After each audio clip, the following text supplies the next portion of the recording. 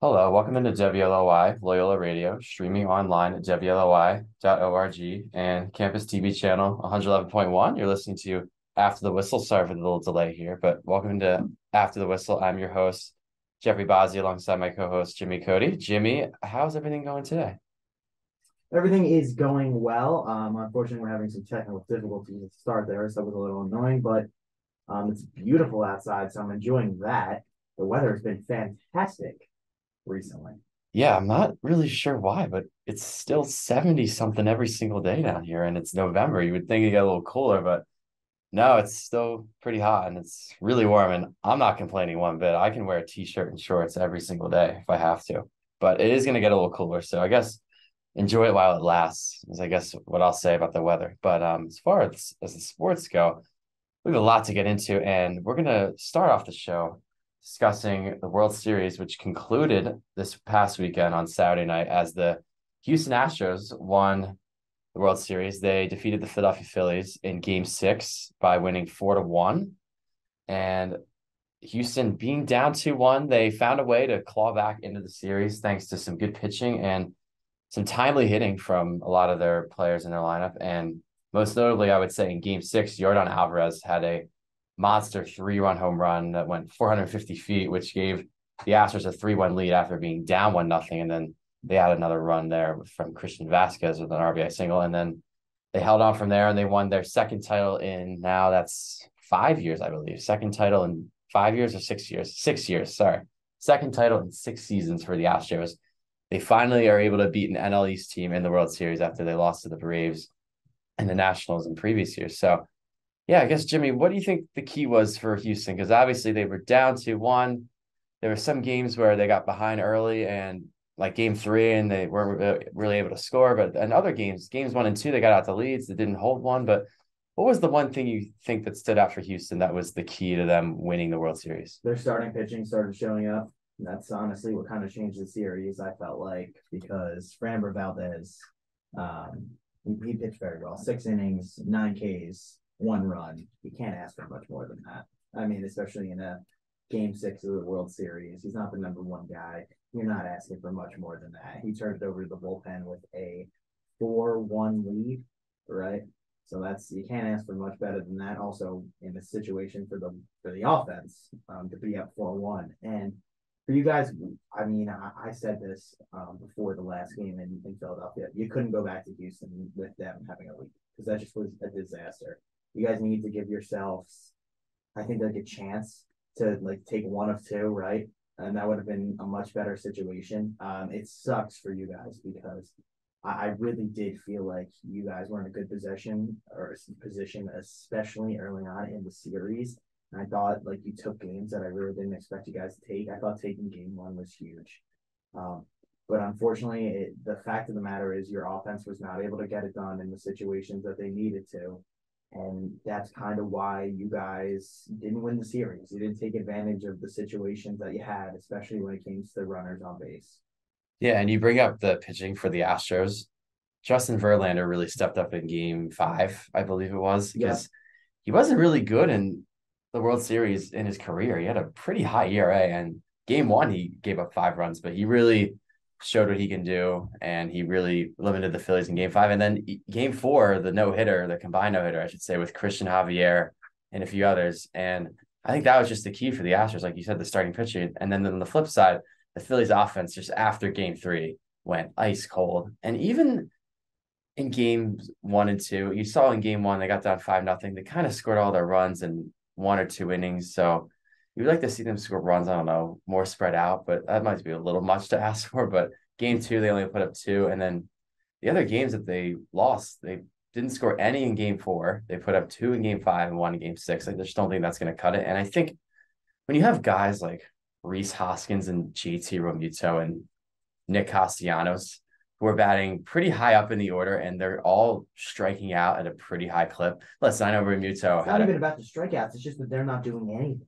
Right. And I guess Realmuto. Hoskins was an out every single time he stepped up to the plate. Right. And I felt like he never was a threat in the World Series, I felt like. Yeah, I was just gonna bring up Realmuto's one clutch hit was obviously the go ahead home run in game one, which gave the Phillies the win there. But you feel like Castellanos was up. We talked about this on the other show last week. He was up in a lot of big moments. I Yeah. felt like in game five, and he wasn't able to come through. And Realmuto had another potential key hit in game five, but Chas McCormick obviously made the crazy catch in center field. But if you have guys that are hitting that high in the order and are being paid a lot of money to do that, and they should be able to produce, they just weren't producing. And listen, Harper, he was whatever in the series. He wasn't bad, but he wasn't great. Just coming off the NLCS, you would probably expect a little more. And the pitching was okay. I thought the bullpen actually wasn't that bad. I thought there were a few instances where you could have expected more. And I think the huge thing for the Phillies, Nola and Wheeler did not look good. Listen, Wheeler looked good in game six, but Wheeler's game two start was bad. Nola was rocky in his two starts. And the recipe to success for the Phillies throughout the playoffs were they were going to ride Nola and Wheeler in their, their starts, and they kind of did. And they got lucky because their other pitchers like Ranger Suarez and Noah Syndergaard, they kind of did their job. But when Nolan Wheeler did not do their job, that's when the offense and the rest of the team suffered. But credit to Houston. I mean, they're just so good top to bottom. And how about Jeremy Pena? I mean, the guy won ALCS MVP and now he has a World Series MVP all in his rookie year and a championship. I mean, he's got it all. Yeah.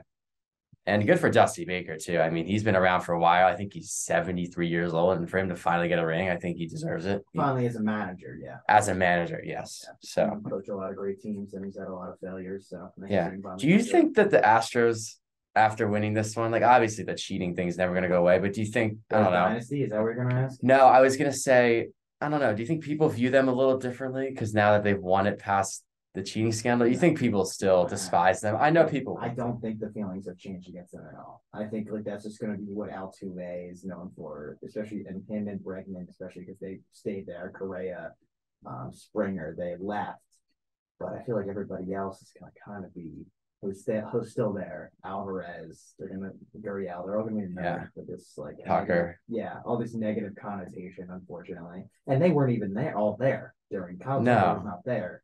Uh, Gurriel, don't he's borderline. I I don't think he was. I think he was, but Alvarez, no. Um, definitely not McCormick or yeah, Maldonado. it's really only the the older players.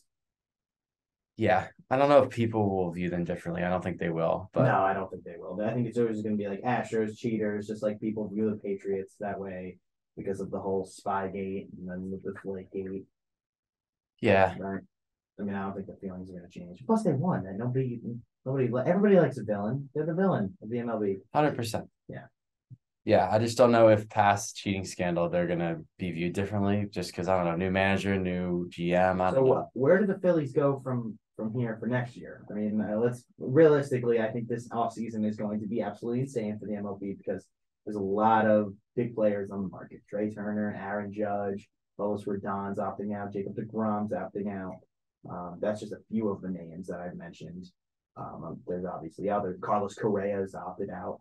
So there's going to be a lot of there's going to be guys on the market. Um, I think the question is now the Phillies. I mean, what is their focus? I, I think it's got to be what maybe a starter, maybe a bullpen piece, and a shortstop. Right? Those are the and maybe a center fielder. Those are kind of like the three, four focuses.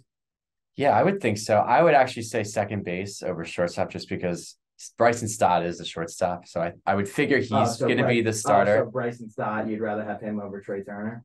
Well, no, I was going to suggest they're going to sign probably an infielder. I just don't know what You they're going to do with Hoskins. You don't think they would go over the cap for a big star like Trea Turner? No, I think they would. It's just, But you think they would move him to second base?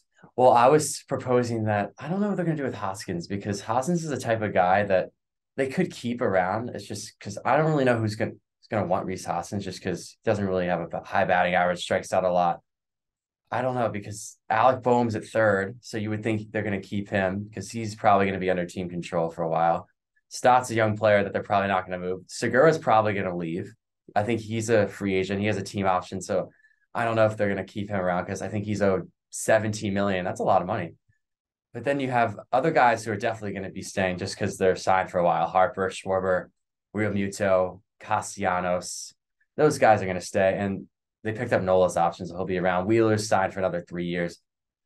Yeah, I would think they're going to go after Trea Turner. I just don't know which position he'll play. I think that's the Uh, I question think mark. He'll play sec- uh, shortstop. I think Bryson Stott would more than likely be moved. Uh, would that not? Oh yeah, he could. I think Stott will stay. I just don't know if he'll play short or second. Oh, I would think Bohm is penciled in at third. yeah, I mean, especially with the way he hit, yeah. I think you could keep him around. Yeah, I don't know if a lot of Phillies fans are going to overreact to how poor Hoskins was in the postseason. Besides the home runs, the home runs were very timely. They were very good. It's just he didn't really do much No, besides no, no, that. I completely agree with you. It's a tough spot. It's a for me the way I look at this guy is like he has had flashes in the past where I know that he can absolutely rake at the plate. Like he is a tremendous power hitter. We know that. And he's a very streaky power hitter too. So I understand the appeal, but also at the same time, he just has to be better. I don't think they're gonna move on from him because he was just the NLCS MVP. But if he had another bad season, um I don't know. Yeah, If it was if it was like a continuation of what we saw in the playoffs, I think it would. I do not discussion. think I do not think the Phillies are going to move him just because I don't know who's going to take him. Right now. If he can, So the thing what I was going to bring up is I just don't think he can hit number two in the lineup. I don't think you can have that kind of production as your number two hitter. Listen, if he was bumped down to maybe five or six, I think that could be something. yeah, Because if you get people on, I mean Harper and other guys like Realmuto, if they get on base, that's chances for Hoskins to drive in runs. Because I feel like he doesn't have a lot of chances to drive in runs where he's batting because he bats behind Schwarber, and Schwarber most of the time is going to either hit home runs or he's going to walk or strike out. So I just don't know if Hoskins hitting second is going to be a smart option going into the season. I think Rob Thomson is probably going to have to move him down the line. I don't know. I just don't think him at number two is a great option. and then that's why you get a guy like Trea Turner, or hopefully you can, and they would move up in the lineup. Right. And then I agree with you what you said earlier about adding a starter. I think they clearly have a one-two punch with Wheeler and Nola, and I think Suarez can be a solid three. But I agree they need help because they had some other guys like Syndergaard and Eflin who they're often injured. I mean, when they pitch, they don't really go past five innings. So I think signing a starter would definitely help. And then another bullpen piece could be nice. Yeah. Rodon, you think for sure is the guy you're looking at? Is that your number one? I haven't really looked at the other free agent and then, pitchers, um, but Oh my God, from San Diego. What's his name? He's a free agent. I'm forgetting his name. Just looking like looking out is it Blake Snell, Joe Musgrove? Yeah, I, I'm pretty sure it's Musgrove, but. Musgrove's pretty good. I don't want to say the wrong so that's why. But But Rodon would be a decent option. Rodon would be a, I think would be a good option for any team. The only thing that concerns me about Rodon is that he played in a very pitcher friendly park, right? In in um, what is this? I forget. what I was about to call it AT&T Park. Oh, Oracle. Park. Oracle Park. Okay. Where the Giants play is obviously a very pitcher friendly park. It's got huge dimensions, dimensions, and I mean massive. Especially when you go out to center field. I mean, it is very hard to hit it out in in center field in any direction there, but especially in center field. And if he goes to a smaller park like Philly, I don't know if that's going to help, right? Yeah, Now you, and it's not just Philly because there's other ballparks that you know are a little friendly too that you guys play regularly. I mean, now the Mets are moving their fence in in right field. Oh, I did is- not know that. Yeah, they are moving their right field fence in, so that's interesting to see how that will work. Um, hmm, I, I, you know, Yeah, Atlanta, Miami's definitely pitcher friendly. Yeah. So is Atlanta, I would think. Atlanta. Kind, like kind I of. think Atlanta in the middle. I think Atlanta's balanced. I think it's one of the more balanced stadiums. Actually, I think you can hit it out. You can. Right field's not that far. It's just No. it's kind of a high wall. Left field's deep, but it's doable. Yeah, Miami's definitely pitcher friendly, and the Nationals Park I think is average, probably on the shorter side. But yeah. yeah, Rodon would not be a bad addition, but I think adding another bullpen piece would be nice. It seems like Seranthony Dominguez and Jose Alvarado have kind of solidified themselves as good bullpen pieces because they had both had strong seasons. And there's some other guys they bullpen, probably problem with bullpen. It's the most inconsistent position in baseball. You never know. because you never know you're gonna get. One year it could be really good, one year it could be bad. But I completely think agree. those guys have proven that they should stick around. But what about the Yankees? What do you think you guys should do? Because You know, there's a lot. there's a lot of things. I know it starts at the top with Judge because you don't know what he's gonna do. Literally, I think the first down to fall. That it, if Aaron Judge is not on the team, then I think you have to do a full type of rebuild. You think they would tear it down all the Not way? necessarily tear it down, but it has to be a focus on young players coming through the system, and they need to play.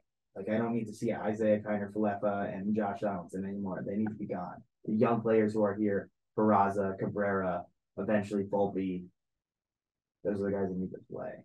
Um, I still like the bullpen. I still think that there's pieces there um, that can actually work. We're gonna be getting some guys back from injury uh, in the middle of next season, um, and maybe you know after that too. It depends on also some of the signings we make. And like Chapman's gone, like that, that's not even a question. The guy's a joke. He's gone.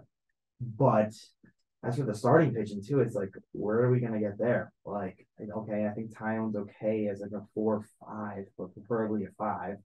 Um, Nasty Nestor's probably staying, obviously. He had a great season, and I thought he was somebody that we could rely on regularly throughout the regular season.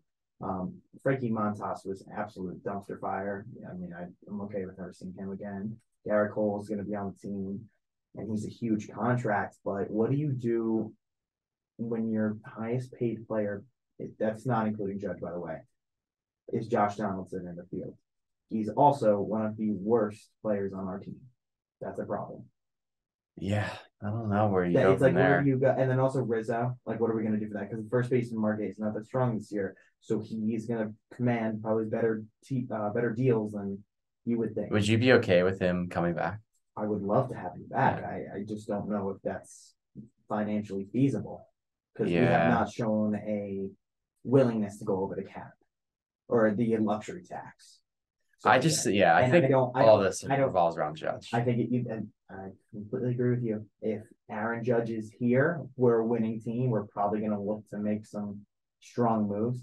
Ideally, it would be nice to, you know, get a shortstop, right? And then also another name I forgot to mention was Xander Bogaerts. Oh, ah, that's He's an interesting available. name. Yeah, he opted out, I believe. Yeah, so I, a lot to still be determined. I think Judge is the biggest chip because he's he's the star of the show, right? Like Yeah. he is more than likely going to be the AL MVP. He was the storyline of this entire season. Um, but I, I, if you want me to talk about something else too, I think it's interesting what's going to happen with Ohtani because the Angels are going through a ownership change. There's a lot of money that would be tied to him if they re-signed, but who's to say that a new owner is going to want, you know, a long-term contract like that? Because the only other one they have is Mike Trout, but he's Mike Trout. But also at the same time, this is Shohei Ohtani, so I would expect other teams like the Mets and the Yankees, you know, maybe the Phillies to be aggressive, right? Yeah. I mean, I don't see a reason not to be, especially if you with some doubt there. So I think that's another big chip that would have to fall. And I think we also need to see what's going to happen with some other teams free agents, um, uh, like Jacob Degrom. I mean, what are the Mets going to be? I mean, they were expected to be a powerhouse coming into this year, look good for most of the season. Um, I would expect them to be really, really, really active in free agency. I would figure they'd want to run it back and then maybe Yeah. add some Uh, pieces. I think they're going to add add some pieces. Yeah, I re- I really think that they're a sleeping giant in the Judge conversation. They worry me. The the thought of the Mets outbidding the Yankees, I think, is very real. Wow. That's scary for both of us. Yeah, Considering he played for you and then if he joined the Mets, it'd be my ri- rival team. Yeah, Uh oh. Yeah, I know that would be a disaster. Especially because they have an owner who has a lot of money and, And he's a fan. He wants to not spend willing. money. He's not willing to save it. He's willing to spend it. Yeah, he wants to win, and that is the primary focus. But yeah, I think there's a lot of dominoes to fall this offseason, and the MLB offseason's a long one too.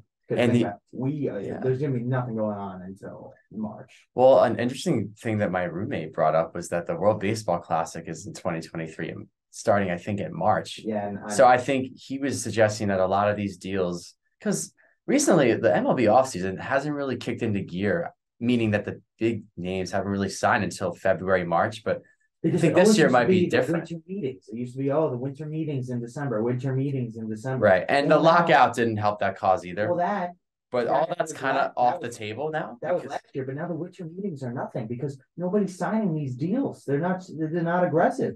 So the point that he was suggesting, my roommate, was that maybe these deals are going to happen sooner. Maybe they happen before the new year, or maybe they happen in January because I don't know. Maybe these players want to know where they're going to be. I mean, that's all good and. Before do we the really think that tournament, most like- players care about the World Baseball Classic? Probably not. Probably not. No, they probably Some do, damn. maybe, but I'm gonna be honest. They'll I show a little I think if you ask most baseball fans, they don't care about the World Baseball Classic. I don't. I I honestly do not care. maybe it's the thing they see on TV. They're like, "Oh, I'll watch it." It But has yeah, no history. It has no bearing. It has. It's not like. It, I guess the point is, it's supposed to be exciting, like the World Cup. There is no resemblance at all. which to- is happening in two weeks, by the way. yeah, to w- the World Cup at all. The excitement for it is not even close. And that's what they're trying to be, but it's a failure. First of all, half the time the games are on at these ridiculously stupid times when we play. uh, uh, Like they love playing the games at, uh, especially when they do the different pools and they play in a different stadium. Oh yeah, let's go watch Japan play whoever, and the games. Oh, let's look at that. Oh, it's seven a.m. in the morning. Like half these games are on at the stupidest times. I mean, I, I'm not gonna wake up to, to watch a game on MLB Network that I don't even know half the guys playing. Right. I just don't care. At, at least in soccer, I know that it's the stars. I don't know if it's the stars in, in this, especially for the other countries. hmm Yeah. I mean, I- it's an exciting event. At least it's what, that's what they're trying to portray it as. But Yeah, I think it's just another MLB failure, if you want my honest opinion. It's a stupid time for it. Baseball season is not popular in March, right? If you want it to be popular, you would have to cut into your actual season, right? Because the most, I think, the most popular time for baseball when it peaks is probably this in the summer in terms of the fan base. whenever basketball and hockey ends, that's their time to shine right there. Yeah, that exactly. little two month window when football's not really around. Not in. March when we got college basketball going on and we got, you know, NBA, NHL. yeah, I was gonna say, not every other sport is going on. Yeah. Also, I don't know how the World Baseball Classic would conflict with spring training. I'm not sure. Well, they just let them train for the um for the World Baseball Classic with their teams. But you know what happens half the time? These guys get hurt. The last one, Didi Gregorius got hurt. and Yankees were missing him. You think they were happy about that? No. We see pitching injuries all the time. Yeah. Also, they haven't had this event in six years because COVID was during the last one that was supposed to be played, which was 2020. So they didn't have that. I don't know. It was just something that my roommate brought up. I didn't really think about it. So I No, I'm may- thinking maybe, but I really don't think that the most players care about it. Maybe maybe a couple stars here and there. I mean, there's been some good moments in the World Baseball Classic, but I don't know, nothing that you would remember off the top of your head. No, I think who to won the world most World Baseball Classic? I don't even fans. know. I couldn't even tell you. I couldn't tell I'm you. gonna guess it was like Puerto Rico or Venezuela or America. I don't know. I don't know. I worship him. I don't know. I couldn't even tell you who played. That's honestly how much of a non-bearing thing it has become. It- who cares? That's what I would say. All right, want to move on to some NFL? Sure. Let's uh talk about the slate yesterday. I think we have a lot of places we could start. Um Let's go through the, all the games. Just and go at this we'll, top. we'll wrap it up with Ravens tonight because obviously we want to dedicate some time to that. and there's also some uh college football scores from Saturday that Oh yeah, we might talk, be worth talking we can about. talk about that too. There's not that many games, so I think we can get through it fast. Let's start in Atlanta, shall we? Let's do it. All right, Chargers 2017 over the Falcons. Um, Cameron Dicker, the former Eagle, actually, he had a kick with you guys, and now he kicked Dicker the kicker, yeah. yeah, to victory over the Falcons. Um, I don't really know what to say about this game other than it was a slow, slowly started game by the Chargers, and they're fortunate to win. I'll, I'll say that. Um, I thought the Falcons were the better of the two teams the entire day. Um, I thought they ran the ball better. I thought that they controlled the game kind of better, and it's just unfortunate for the Falcons because they really didn't give up that many points to a pretty good offense, and they still unfortunately lost the lost the game. Sorry. The killer play for them was when they recovered the fumble and then they gave it back in the fourth quarter. Yeah, but wasn't he down? I don't know. Yeah, he was down. I think so. Yeah, he was. Uh, Austin Ekeler was down, so that's why they got the ball near midfield. But yes, that was a funny play because the ghost ripped it out of his hand. it was just I don't even know what happened, but he just fell. He was thinking about the end zone before he ever got there. Yeah, this is a weird back and forth game. Definitely a slow starting game. And Herbert had a pick too. He was really just not good. No, I don't know. That's He threw the ball a lot, and he was just it's one of those games where if you're the Chargers, you're taking the win, you're just running away with it. And then for the Falcons, it's a tough one, especially because you were in first place in the uh, NFC South. Now you're tied for first, I guess technically in second with Tampa Bay winning yesterday. But yeah, it's a type of game where I think for the Falcons, it's the type of game that you would love to win to keep your momentum going. But yeah, it was kind of just a weird game, late game drama. But a lot of turnovers on both parts too. I mean, the Falcons had two fumbles. Yeah. Um, the uh, Chargers had a fumble. I mean, it was just and and an interception. This is not a clean game. It just was not a good game. not many fireworks. No. But no. speaking of fireworks, the Dolphins and the Bears Yeah. some fireworks. Yeah, let's talk about this game for a second because I was actually kind of impressed with the Bears. I know that's not really the storyline here. Everybody's talking about okay, the Dolphins' offense is insane, But I thought Justin Fields, like he's getting better. He's getting a lot better. I mean, I used to think this guy was horrible and that he would had no chance in the league. But you know what? He plays with absolutely like literally zero talent around him. Like that's just the truth. He does not play with much around him. They finally got Claypool this week, but he didn't really have much of an effect. But you know what? This kid still finds a way to make plays, whether it's on the ground or you know through the air. He did have three touchdown passes through the air, all albeit it was only 123 yards passing, but still, he was effective. He saw when he saw green grass, he ran for it. He made things happen out there, and that's what you need out of a quarterback. Yeah, we know what he can do with his legs. I mean, you saw him run all over the field yesterday, but I just am impressed with the Bears offense in general. They don't really have much, like you said, outside of fields, but the last three weeks they put up 33, 29, and 32 points. I mean, I think a lot of people would see the Bears putting up these kind of numbers offensively. Absolutely not. They've shown that they can do it. And it just sucks for them because they did all that yesterday, put up 32 points, and they still lost to the Dolphins because the Dolphins, as we know, have this really high octane offense. And I think the new additions, I mean, yeah, we can Jeff, talk about Bradley Chubb on defense, but Jeff Wilson was Jeff a nice Wilson spark plug in there. He, he ran for 51 yards on nine carries, which is pretty good for someone who's not really supposed to be the starter. It's supposed to be Mostert, and Mostert had an off day yesterday. So Wilson definitely picked up the slack there. But and then Tyreek Hill as well. Yeah, Tyreek Hill just continues to do his thing. I mean, 143 one touchdown seems like a average day for him because he's that's what he does. But I am impressed with the Bears. I do think Fields is progressively getting better. I think there's still some ways to go passing wise, but you can definitely see that he can make some plays. Concerned about the Dolphins defense though. They're gonna have to step up later in the season. This can't be keep going on. You can't keep giving up 30 points all the time. Yeah. I do think they're down the road. I still think they're gonna be a team that's gonna be around because they still oh. haven't lost with Tua as I, the starter. I agree. I think that they well, I guess technically the Bridgewater game when Tua got Yeah, that that's but true.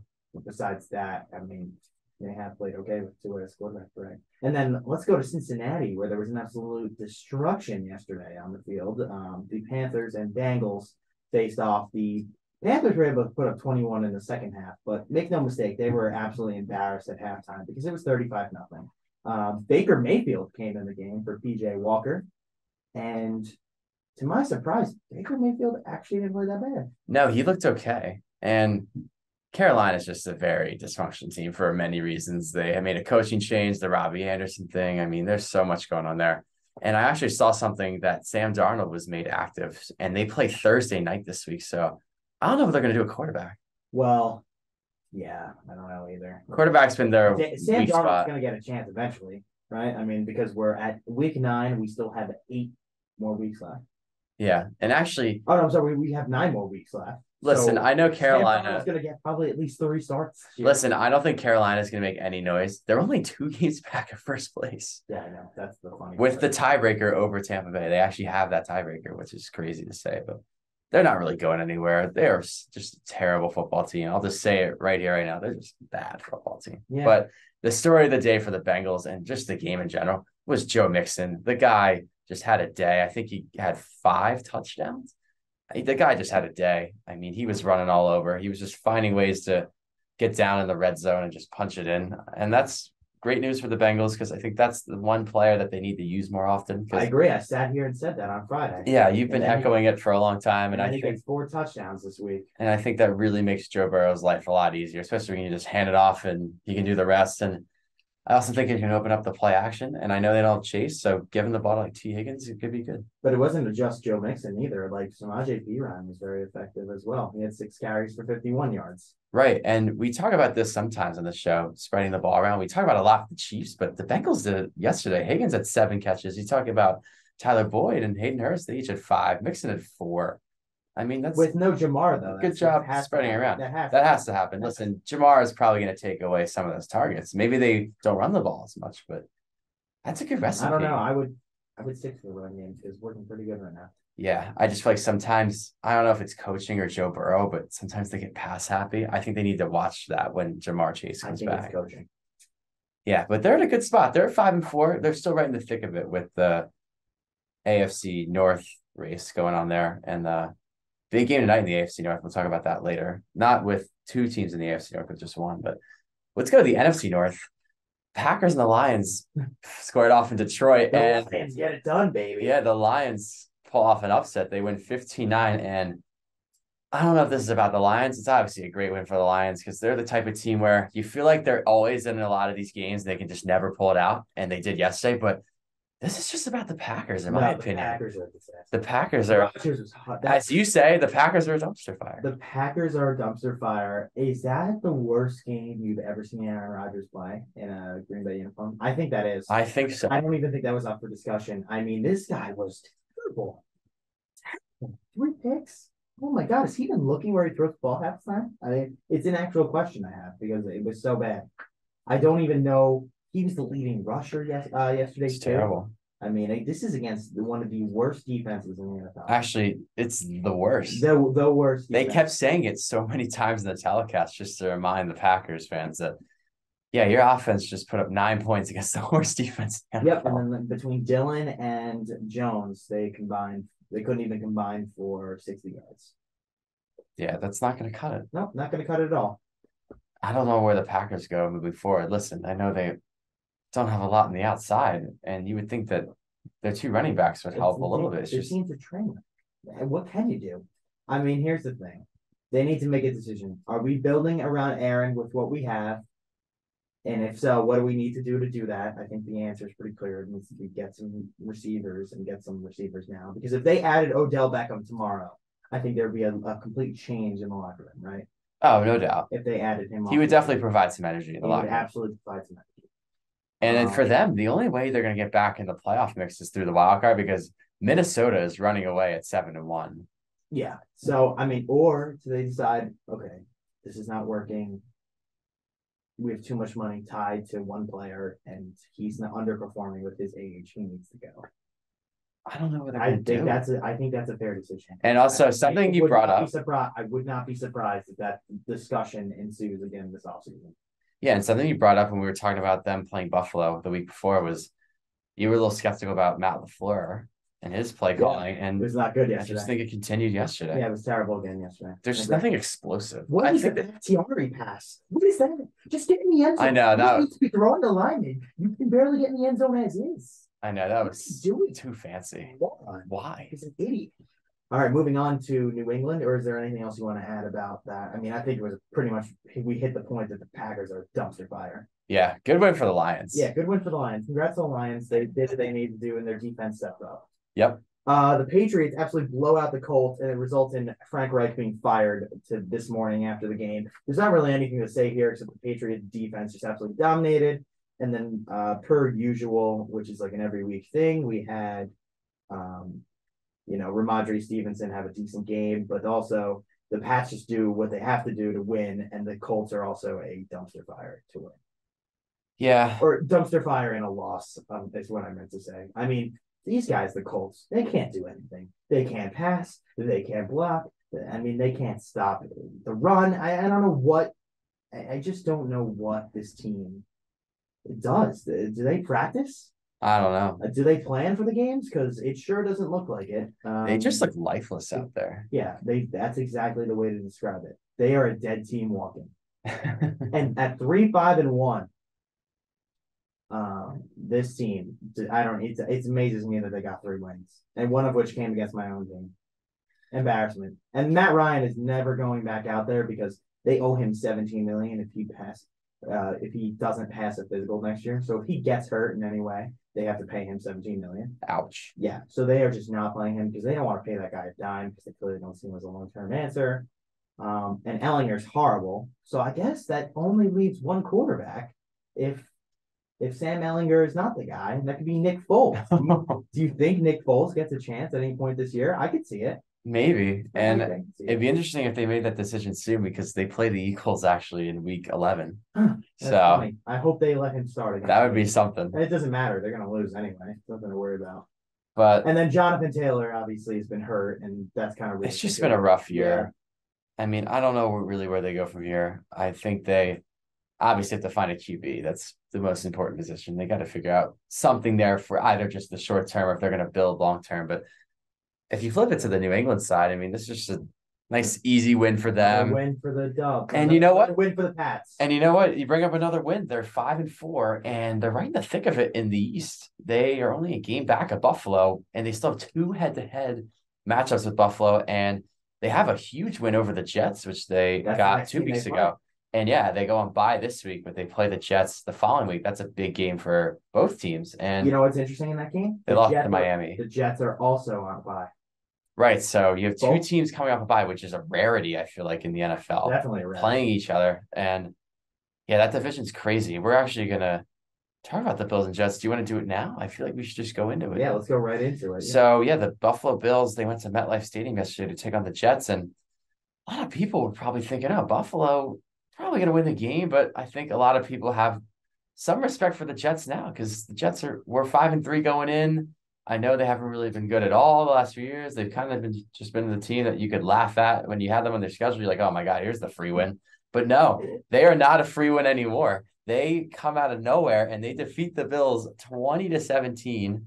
And the thing that was most impressive for me is the defense has been pretty solid all year. And I thought they did a really good job containing Josh Allen yesterday because Josh Allen did not have a great day. And I especially thought the defense was very good in that last drive where Buffalo got the ball back down three. And you saw Buffalo fumble the ball. They lost a lot of yards and they had third and 21, fourth and 26 or whatever, fourth and 21. And they weren't able to get it done. And I actually thought that throw by Allen that he made to Gabe Davis, that was right on the money. Well, you want to hear what's even crazier? Josh Allen has a UCL injury. He injured his UCL uh, in his arm.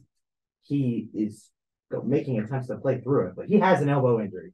So if that's kind of the doubt of what was wrong with Josh Allen yesterday, it's that he's playing hurt. He didn't play great. Give the credit to the Jets. I thought that their offensive game plan was decent because they just ran the ball and they made sure that Zach Wilson could not mess up the game for them. Buffalo couldn't stop the run. And Buffalo couldn't stop it. And They couldn't what? get off You the gotta field. get sometimes it's just about putting your hand in the dirt and blocking forward, and that's exactly what the Jets did. They played old fashioned football. And listen, there's a lot of teams that can't stop the run. The Chiefs couldn't stop the run last night, but now the Bills can't stop the run. The Bengals aren't too great at stopping the run. I mean, listen, if you're an AFC team and you can control, I like I think to yesterday opened up the entire AFC. I don't see a reason that anybody in the AFC who's not except for like maybe a handful of teams, and I'm talking a select few. I like maybe There's a lot of teams that could there's a lot of teams that come out of the AFC that could just kick it into gear at any point and just run through this thing. Yeah. I mean, listen, but obviously the Chiefs, great team. They won last night, but not a pretty game. No, And now the Bills lose yesterday. There's some Josh Allen injury concerns. Um, a team like the Dolphins, tremendous offense, but obviously we know they have flukes on defense. yeah. A team like the Jets, they have a great defense, but we're not 100% confident in their then you got the Bengals who were obviously been there, done that last year, but You got the Ravens. they're trying to kick it into gear. The Ravens. The Browns, man. I mean, listen. Yeah. Even got- you see the Chargers. I know they're not great. I mean, they haven't really impressed too much, but they can kick into gear offensively. I mean, listen, look at a team like the Browns. They're three and five now, right? If they can get to a point where they're around 500 when they get Deshaun Watson back, maybe they can get hot. That's what I was saying all along. I think I if they can get back to 500, I- they can make a run. I think that that's going to be a huge addition. and I really think a lot of people are kind of undervaluing that. I think people are forgetting about it. I think people are forgetting about him too. I kind of agree with you.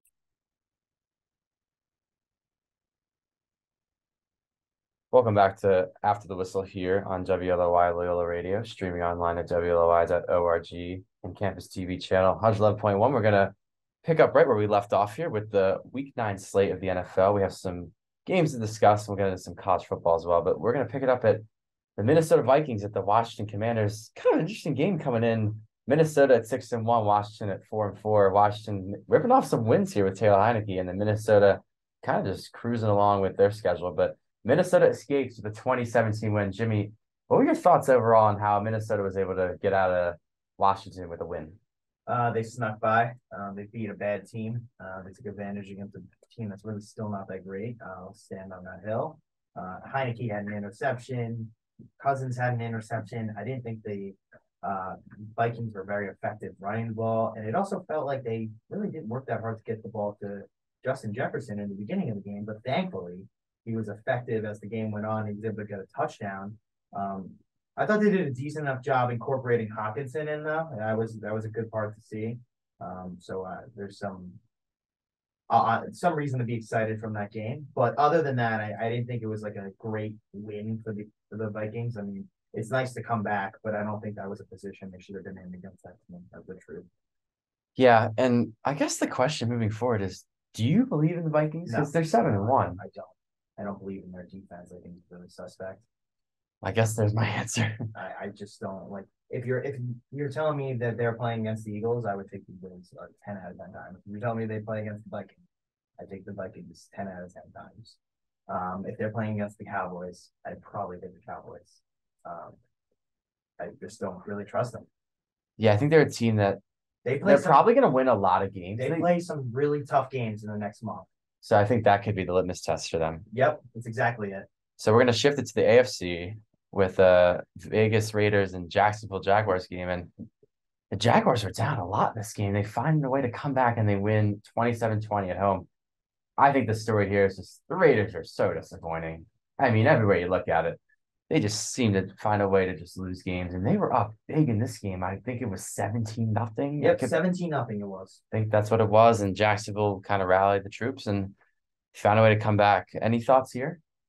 Um, yeah, here's my thoughts. The Raiders are a dumpster fire. I mean, there's just nothing else that you can say. For them to blow this game, it's just unacceptable. Um, losing to the Jaguars, this just can't happen for them. And, and this was a game they needed, I felt like, to kind of kick their game into or their gear in into place for the season. They needed to really get going, and they did not do that. And they got the ball to Davante Adams. They did what they wanted to do in the first half. Um, this guy was a beast, especially in the first quarter.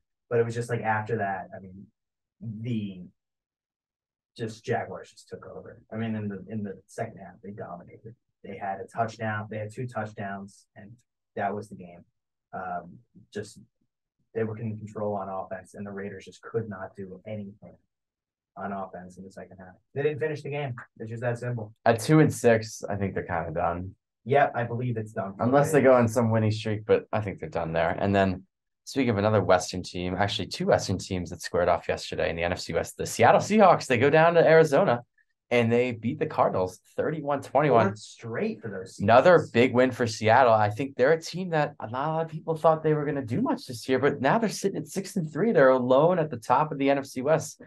I'm just impressed overall with Geno Smith. I think you start there. He's been a guy who's completing a very high percentage of his passes. I think he's leading the league actually in completion percentage. And then they have guys like Kenneth Walker who can run the ball pretty effectively, and they have two studs in the outside with Metcalf and Lockett. And you know what? got Noah Fant to finally do something. And Noah game, Fant, he showed up a little bit. Yeah, Noah Fant actually did something. So But that's surprising. I think the story there, besides the Seahawks just continue to impress people, is the Cardinals are just in disarray. And we've both talked about this. We're both on the train of Cliff Kingsbury probably not going to be around too much longer. probably not. yeah, Shouldn't be. How about that? So I don't where- know. That's the train mom. We know the leash is short. I just Yeah. don't know how short it is. Uh, it should be really short because this team's a dumpster fire, and it all starts on offense. Kyler Murray's uh, turnover on that fumble is where that where the the decline started for the Cardinals yesterday. Uh, that's my opinion. And they didn't Once really that- get help running the ball besides Murray. Murray, I think, had 60 yards, but not much there. How about the Seattle defense though? They've played a lot better since kind of being a little suspect early in the season. Yeah, they have a few guys on that defense who can make plays. It's just as a unit, they kind of question how they would perform. And But they got Bruce Irvin back. yeah, it's a big addition for them. I mean, Yeah. he's been there before. Uh, yeah, I, I think they're going to be a team that might be around for a little bit. And I think they, that, they just keep getting wins. and I think San Francisco is probably going to be their challenger just based on the standings right now because LA has looked bad too. And we're going to talk about them actually right now. But Huge that game. For, division's interesting. huge game for Seahawks next week though. Um, they play the Bucks in Germany. Yeah, that is a massive game that we'll talk about next week. So we'll see if they can take their success overseas and continue it. But we talk about the other NFC West team here, the LA Rams. They traveled to Tampa Bay all the way across the country to face off against the Bucks. And this is supposed to be a pretty high profile game with the two quarterbacks. This is a rematch of the divisional round. And it really just wasn't because both these teams are just having very subpar seasons. But Tampa Bay finds a way to come back with a late touchdown and they squeak out a 16 13 win. And this is a game that LA, I felt like was in control the whole way. They Mhm. kind of outplayed Tampa Bay for the majority of the game.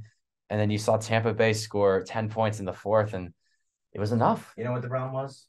They settled for field goals when they needed touchdowns. Yeah. He sec, two field goals in the third quarter. The only That play where they really wowed some people was that long touchdown to Cooper Kupp, Mhm. which was back, I think, in the second quarter. Yep, it was early in the second. But you're quarter. right. I mean, when you're settling for three, I mean, three is not bad, but when you can get seven multiple times and you can't do it, that's gonna And hurt. also Stafford's a train wreck. I mean, he's just a train wreck at quarterback. 13 for 27? Come on. That's not good enough. It's never gonna cut it. Yeah, and the other thing is they haven't really been a good rushing team during their success. Besides, line's terrible. they haven't been a good running team. I feel like since the Todd Gurley days, they haven't really found someone that can just take the ball twenty times and do it. You think it'd be Cam Akers, but he's had his issues off the field. But Well, Cam Akers was also ineffective. He had the ball five Right. times yesterday for three yards. yeah, and Henderson's been there, but I don't know. He doesn't really offer you much. He can be serviceable, but not really more much more than that. And then Brady on the other side, he wasn't like oh he wasn't bad, but he threw it fifty something times. I don't know. Both these teams are very similar in that they're supposed to be good, but they're just not good. And I don't know. They both have things to fix, but two teams coming into their game yesterday, and this was the Sunday night game between the Titans and the Chiefs. These two teams were both the five and two, and these two teams had a lot of things going right for them. You, the Titans coming in the year, not really a team that was talked about a lot. They were coming in at five and two, pretty surprisingly good record. And then Kansas City coming in, obviously, we know what they have. They have a great offense. They got Mahomes running the show. And this is a crazy game because for a while you're thinking Tennessee actually might pull this off. They were up 17 9, I believe. And Malik Willis wasn't doing much through the air. And then Mahomes has a late touchdown late in the game. And then he runs it in for two. And then coin flip goes Kansas City's way. And they actually didn't even score in their initial possession. Well, actually, they did. They kicked the field goal, but Tennessee actually had a chance to win it. That was after Butker had missed uh, a field goal. Um, and he also missed a PAT. Yeah, so that was my fault. They did score in their first possession, the Chiefs, and then Titans actually had the ball and then didn't do anything. But I don't know. Was this kind of a lucky win for KC, or what did you see?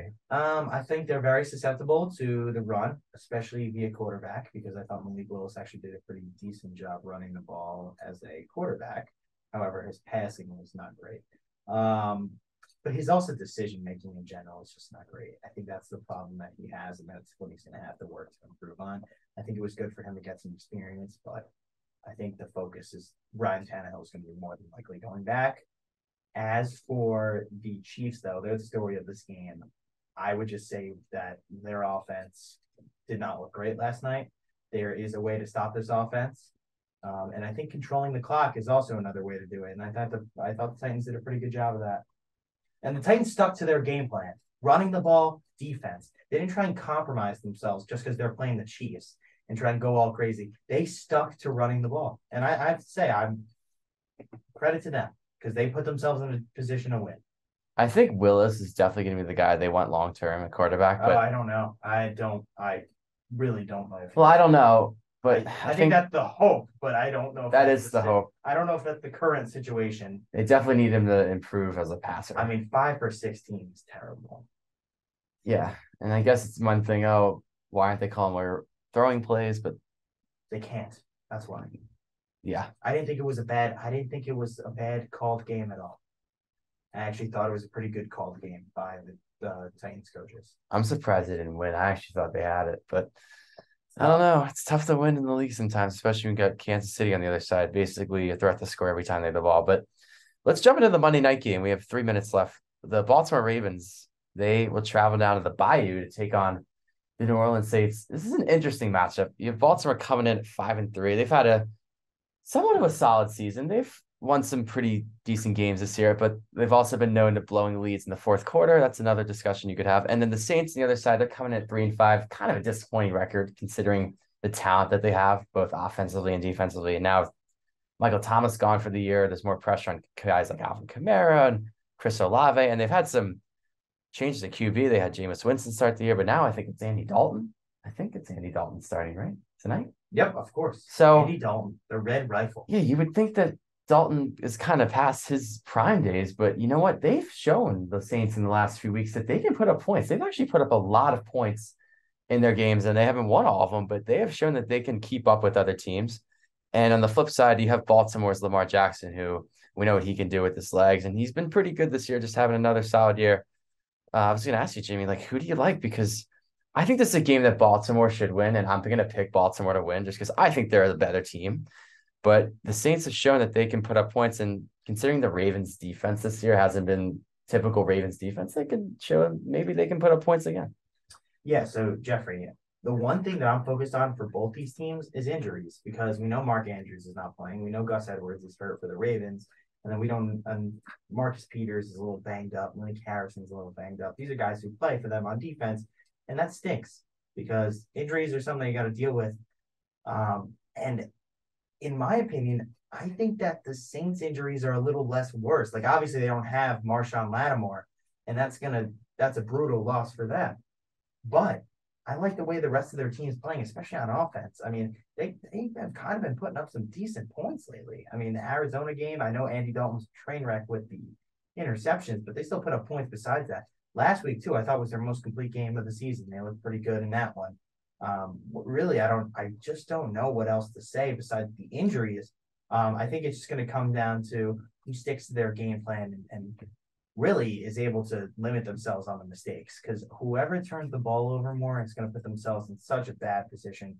Because the truth is, especially with the Ravens, I don't trust their defense. I just don't. Um, as for the Saints defense, we're supposed to be good. It's good up front, but it's a little suspect in defensive backfield. So um, I have concerns about both of these teams' defenses, and I have concerns about their injuries. So I think this is going to be a close one. I think the key, especially though, for the Ravens, they have to stop Alvin Kamara. They cannot let him have a big game because if he does, that's not great for them. But also on the Saints end, they need to stop the run of the Ravens and force them to pass. So if I had to make a pick, um, oof, tough, tough to make a pick here. Um, I'm not entirely sure, but I would say it's a toss up right now. I mean, I can see either of these teams winning. If you want me to be completely honest with you, I think this is going to be a close, close game. I might actually go New Orleans because they're home. Yeah, you think they could tie? You think the tie is possibility? I mean, listen, no doubt the the best player on the field tonight is Lamar Jackson. He has the most ability out of anyone. But I think it depends a lot about how the Saints defensively go up against him. We've seen them shut down like big time quarterbacks before. That's not something that they struggle with, especially a la Tom Brady. Yeah, a la Tom Brady um, they can game plan for these big game for these games well, and they play pretty well at home. So I don't know. I, I might go Saints. Yeah, that's definitely a viable pick, I would think. But we're gonna briefly touch on this real quick. I know we're running over time here, but college football was a wild Saturday. We had two notable games: Tennessee and Georgia, and Alabama and LSU. And Georgia manhandled Tennessee, I think, for the most part. I forget what the final score was, but I believe they won somewhere like the 24 6 range. I don't know if that was the final or 27 6, but it looked like the Georgia of last year and the last few years. Dominant defense, offense has a pretty good day, and Tennessee's offense couldn't really get anything going. Nope. And then the shocker was down at LSU. LSU pulls off an upset at home. They beat the Alabama Crimson Tide. And I think it's kind of the end for Alabama this year. I think they're not going to make the playoff at two losses. Considering no. LSU's ahead of them in the SEC, you got teams like Ole Miss who they play this week, Alabama. So that's a big game. And you got Tennessee and Georgia. I just don't think Bama can get in. But what do you think is going to happen tomorrow night in the rankings? Because I would think Georgia could go to one. Georgia's absolutely one. Georgia. You would think. Yeah, absolutely. The only question mark there was Ohio State was ahead of them. I think. Yeah, no. So I don't know who's number one. So they're going to be number yeah. One.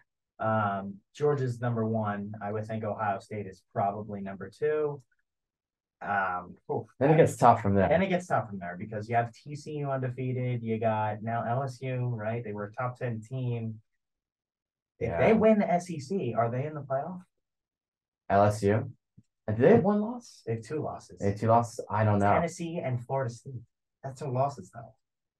Yeah, Tennessee's not a bad losses considering how good they are. They didn't play good that game. I, that's what I'm saying. Florida State's a bad loss. so much that could happen. So I think Michigan's going to be in the top four. I think yeah. they deserve a spot. Um, Clemson also lost. That was another yeah. big domino that fell. Clemson was number five, I believe, in the either CFP or AP poll. I'm getting it mixed up, but they lost, so they're going to drop a bit. Mm-hmm. Um, yeah, so I so their status is kind of in jeopardy. Teams like TCU control their own destiny now. Win out. Same thing with Ohio State and Michigan. Win out. Yeah, that Bama Ole Miss game is probably the biggest game on the schedule this week. You still have mm-hmm. Ohio State, Michigan coming up on Thanksgiving break, but yeah, there's a lot gonna that's gonna happen. There's a lot of dominoes that are gonna fall, and a lot of teams are gonna shuffle up and down the rankings. So we'll definitely be keeping an eye out for that. But I think that's gonna be all of our time here. And after the whistle, thank you for listening. We'll be back on Friday talking some more sports. So have a great rest of your weekend. We will see you then.